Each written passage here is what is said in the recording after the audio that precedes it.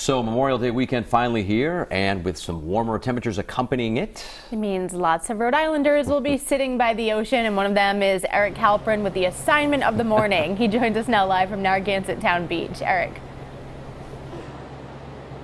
Kate and Patrick, I don't think I could have asked for a better assignment. I don't think I could have asked for a better morning. It has been beautiful all morning long. We've had a gorgeous sunrise too and an easy drive down, but it'll be a different story later today as the day moves on when people get out of work and kids get out of school and those holiday weekend plans get started. According to AAA, more than 3 million Americans are going to fly somewhere this weekend, but many more will be out on the roads. Gas prices are up close to $3 a gallon on average, but that's not stopping drivers. AAA says nearly 40 million Americans will be taking a road trip a bit of good news for Rhode Islanders, though. Gas prices have not gone up since last week. A regular gallon of gas will cost you about 286.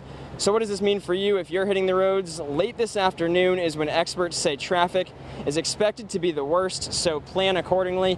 And another note from RIDOT this weekend, the Providence to Newport ferry was supposed to start tomorrow but is having mechanical issues, so a substitute will be going to Bristol, and the regular one is supposed to be back in service on Sunday, but check before booking tickets. For now, live in Narragansett, I'm Eric Halpern, Eyewitness News.